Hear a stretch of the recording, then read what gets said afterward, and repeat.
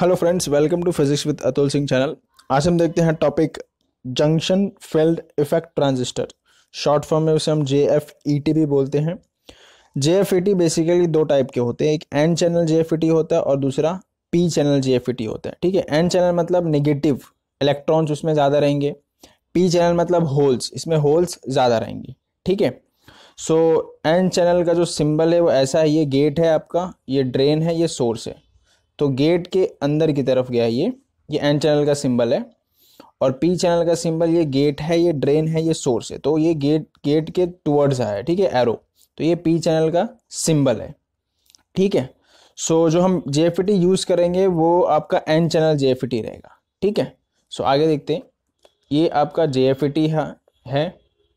तो देखते हैं इसमें क्या होता है। ये देखिए ये आपका एन चैनल जे है। मतलब इसमें आपके क्या ज़्यादा रहेंगे? इसमें इलेक्ट्रॉन्स आपके ज़्यादा रहेंगे, है ना? इसमें आपके इलेक्ट्रॉन्स ज़्यादा रहेंगे एज़ कंपेयर टू होल्स तो देखिए, ये आपका एक सब्सटेंस है, ठीक है? इसमें एन जो है एन ये बहुत ज़्यादा है।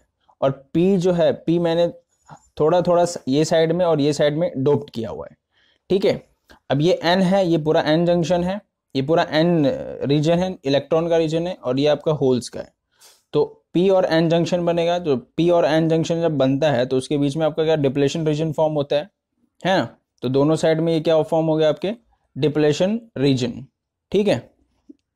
अब बेसिकली ये जो आपका जेएफटी है, ये तीन तीन टर्मिनल में कनेक्टेड है। ये आपका है, होता है गेट ठीक है? ये गेट हो गया, ये हो गया आपका ड्रेन ये नीचे हो गया आपका सोर्स जो ये साइड में कनेक्टेड है गेट ऊपर ड्रेन नीचे आपका सोर्स और ये जो पी है पी ये दोनों साथ में कनेक्टेड है, ठीक है? किसको? गेट को। ठीक है? सो अभी देखते हैं। अभी जो मैं वोल्टेज दूँगा गेट और सोर्स के बीच में गेट और सोर्स के बीच में अगर जो मैं वोल्टेज देता हूँ, वो आपका VGS रहेगा। सिर्फ़ गेट को वोल्टेज दूँगा, वो आपका वीजीसी रहेगा। ड्रेन और सोर्स के बीच का जो वोल्टेज रहेगा, वो रहेगा वी सिर्फ़ जो ड्रेन को मैं वोल्टेज दूँगा वो रहेगा आपका बी डी डी ठीक है? ये वोल्टेज हो गया आपका। सो so बेसिकली ये आपका जे क्या है? जे है आपका वोल्टेज कंट्रोल डिवाइस है। इसमें आपके दो पीएन जंक्शन है, एक ये पीएन और एक ये पीएन जंक्शन तो इसमें बेसिकली दो डिप्लेशन रीजन रहेंगे, है ना? एक ये डिप्लेशन रीजन और एक ये डिप्लेशन रीजन एंड ये गेट क्या करता है? Control the movement of electrons अब ये जो आपका ड्रेन है और ये सोर्स है ये बेसिकली सोर्स से आपका इलेक्ट्रॉन फ्लो होगा, जैसे मैं वोल्टेज लगाता हूँ इस पूरे जेएफईटी में तो सोर्स से आपका इलेक्ट्रॉन फ्लो होता है। तो गेट बेसिकली क्या करेगा? Control the movement of electron ठीक है? एंड जे हमको पता है, ये थ्री टर्मिनल डिवाइस है। थ्री टर्मिनल मतलब एक गेट हो गया, दो, एक ड्रेन हो गया, दूसरा, तीसरा आपका सोर्स हो गया। तो ये थ्री टर्मिनल डिवाइस हो गया।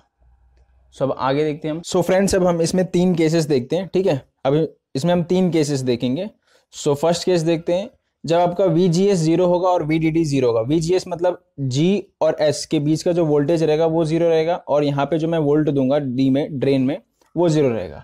तो क्या होता है? Depletion region are of equal thickness and it is symmetrically distributed इसका मतलब क्या? कि ये जो आपका डिप्लेशन रीजन है पी और एन जंक्शन के बीच का, वो वैसे ही रहेगा जैसा पहले था। ठीक है? क्योंकि इसमें मैंने वोल्टेज भी कोई सप्लाई नहीं दिया है है ना? सब ज़ीरो है। तो ना तो इसमें इलेक्ट्रॉन फ्लो होगा सोर्स से और ना ही उधर से ड्रेन से आपका करंट आएगा। ठीक है? और डिप्लेशन रीजन भी आपका वैसे का वैसे ही रहेगा। अब सेकंड केस अब हम देखते हैं सेकंड केस इसमें आपका जो वी है वो ज़ीरो रहेगा और वी आपका पॉजिटिव सप्लाई रहेगा। मतलब जो जी जो गेट है और सोर्स है इन दोनों के बीच का वोल्टेज क्या रहेगा? ज़ीरो ही रहेगा। और जो यहाँ पे मैं जो वोल्टेज दूँगा ड्रेन में वो आपका रहेगा पॉजिटिव ठीक है? सो so, इसमें क्या होता है? जैसे मैं यहाँ पे पॉजिटिव वोल्ट सप्लाई देता हूँ सो इलेक्ट्रॉन्स सोर्स से लेके ड्रेन की तरफ़ फ्लो होने लगते ठीक है? यहाँ से आपके इलेक्ट्रॉन्स फ्लो होंगे सोर्स से लेके ड्रेन की तरफ़। तो जैसे इलेक्ट्रॉन ऐसे फ्लो होता है तो ड्रेन से लेके सोर्स में सोर्स की तरफ़ आपका क्या फ्लो होगा? Current that is I D ठीक है? ड्रेन से लेके सोर्स की तरफ़ आपका करंट फ्लो होगा ऐसे ठीक है?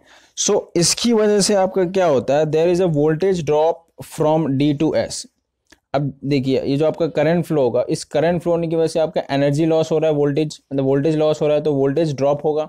तो जैसे ही वोल्टेज ड्रॉप होगा तो यहाँ पे एक्चुअली वोल्टेज यहाँ पे इस पार्ट में वोल्टेज ज़्यादा ड्रॉप होगा एंड इस पार्ट में वोल्टेज कम ड्रॉप होगा। ठीक है? सो so, इसकी वजह से क्या होता है कि gate become negative and there is a reverse bias near P P channel ठीक है? सो ये नेगेटिव हो जाएगा और ये पी है पॉजिटिव है तो निगेटिव आप कनेक्ट करते हो अगर पी रीजन में तो वो हो जाता है रिवर्स बायस हो जाता है है ना?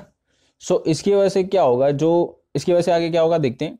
Thus depletion region will be asymmetrically distributed across P region इसका मतलब क्या अब देखिए यहाँ पे आपका क्या वोल्टेज ज़्यादा ड्रॉप हुआ था यहाँ पे वोल्टेज कम ड्रॉप हुआ था। सो so, इसकी वजह से यहाँ जो डिप्लेशन रीजन होगा यहाँ पे मैक्सिमम होगा एंड यहाँ पे मिनिमम होगा।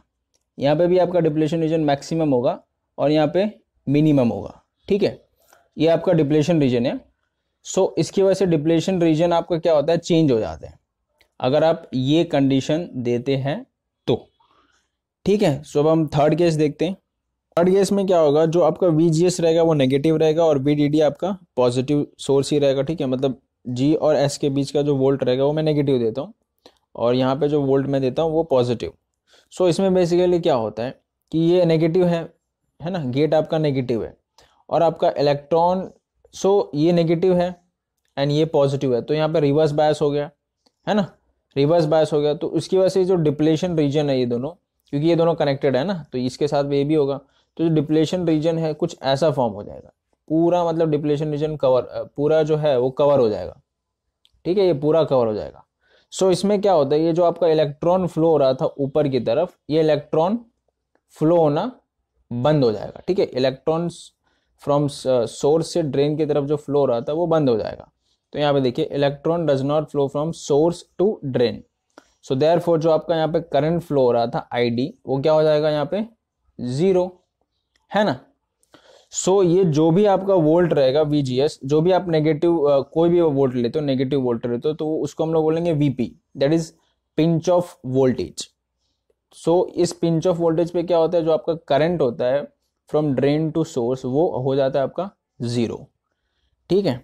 फ्रेंड्स वीडियो आपको कैसी लगी? अगर अच्छी लगी तो लाइक कीजिए अगर नहीं लगी तो आप कमेंट में बताइए क्यों नहीं अच्छी लगी। एंड आगे ऐसे ही आपको फिजिक्स से रिलेटेड वीडियोस देखने के लिए आप चैनल को सब्सक्राइब ज़रूर करें। So thank you for watching the video